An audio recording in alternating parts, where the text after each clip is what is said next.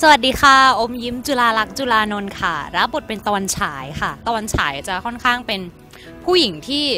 สู้นะดิ้นรน เพราะว่าเขาโตมาในสถานเลี้ยงเด็กกำพร้า แต่ว่าก็ถีบตัวเองขึ้นมาเป็นนางแบบซูเปอร์สตาร์ติดตามชมนางกลางไฟได้ที่ช่อง True for You บนกล่อง True Vision ช่อง 2 และก็ 34 ค่ะ